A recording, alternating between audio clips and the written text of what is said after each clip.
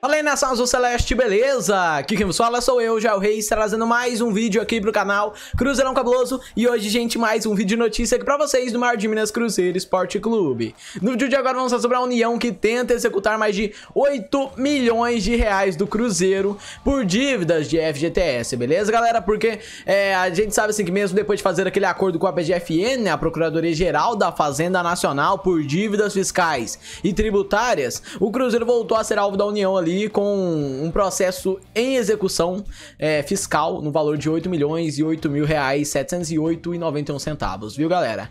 E antes da gente para o vídeo, se inscreve, deixa o like, compartilha o vídeo com seus amigos e deixe nos comentários sua opinião, galera, porque de acordo com o processo que tramita na 25ª Vara Civil Federal de Execuções Fiscais da Seção Judiciária de Minas Gerais e distribuída em 24 de novembro, essa cobrança diz respeito à falta de pagamento do Fundo de Garantia do Tempo de Serviço, que é o FGTS, é, entre 1994 e 2015. Essa cobrança está dividida em duas certidões de dívida ativa, CDA, num valor, né, uma no valor de 13 milhões 665 mil e outra num mais robusto de 7 milhões, não, é uma é 13 mil, viu, não é 13 milhões não, 13 mil reais e outra no valor de 8 milhões de reais, viu galera? A petição da PGFN ainda diz que o clube deverá ser citado a partir do conhecimento do processo, é, a raposa, né, terá cinco ali ali dias, cinco dias para pagar o valor cobrado, com acréscimos legais definidos na CDA, que integram né, a presente petição,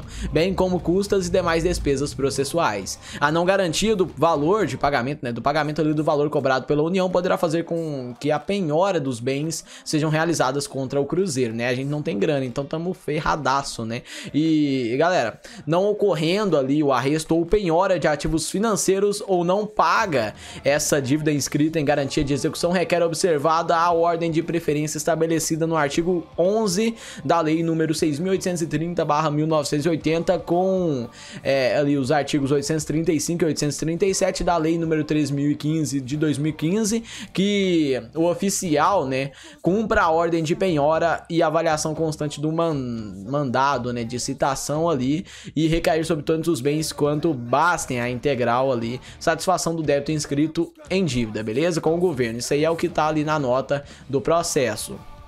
E por causa dessa dívida, o Cruzeiro teve seus dados de pessoa jurídica incluídos na lista de devedores do FGTS. Fisca, ou melhor, fica ali com impedimentos para contratar serviços institucionais de instituições financeiras oficiais, ou seja, bancos, né? E se manter em parcelamentos especiais, que é o Refis e outros, concedidos pela União, né?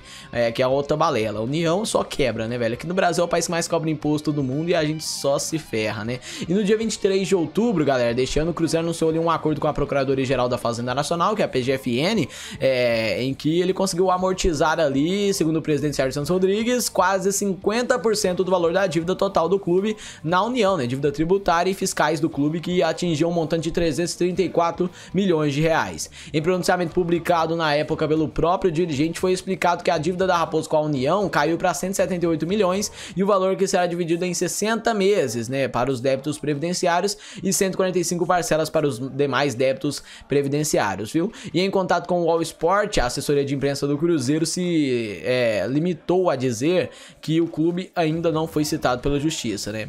E a nota é o seguinte, abre aspas, o Cruzeiro Esporte Clube não foi citado e o judiciário se encontra em recesso forense desde a última sexta-feira, dia 18 do 12 de 2020, até o dia 21 do 1 de 2021, período em que todos os processos ficam paralisados.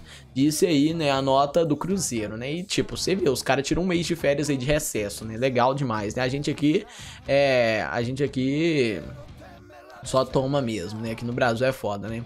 É, tipo, FGTS eu sei que todo mundo usa, né? Muitas pessoas usam, mas é, tipo, fica a minha pergunta assim, se você, por exemplo, é, não gostaria de saber seu FGTS todo mês, né? Junto com o seu salário, né? Porque, tipo, é, o FGTS é seu dinheiro, né? É mais que obrigação do governo de devolver ele. É mais obrigação ainda o governo não pegar ele de você, né? Do seu salário, né? E agora o Cruzeiro condenado aí, vão pegar 8 milhões da gente, né? E o Cruzeiro, ele tem ali como ideia é, fechar ali esse acordo com o Grêmio, né? Esse acordo aí que vai ser fechado até agora em dezembro, então vai dar tempo da gente é, fechar esse acordo aí com o governo, né? Vai dar tempo do Cruzeiro pagar esses 8 milhões ali, né? E a gente vai, vai dar um jeito, viu, galera? Porque, tipo, é, o Cruzeiro ele tem a ideia de fechar agora em dezembro, né? No fim de dezembro o acordo com o Grêmio, e aí o Grêmio vai pagar parcelado, mas o Cruzeiro vai receber o dinheiro do banco, um banco vai pagar 20 milhões pro Cruzeiro e o Grêmio vai pagar o banco, viu? E aí a gente vai ter dinheiro para pagar isso aí, vai pagar os salários atrasados também, se Deus quiser, né? E tomara que dê tudo certo, beleza? Então, galera, esse foi o vídeo de agora, obrigado você que assistiu até aqui, se gostou deixa o like aí embaixo, se ainda não foi inscrito no canal e é novo por aqui, se inscreve, ativa o sininho, compartilha o vídeo com seus amigos, deixa o like e deixe nos comentários sua opinião. Obrigado a todos, valeu, até a próxima, fui, tchau, tchau.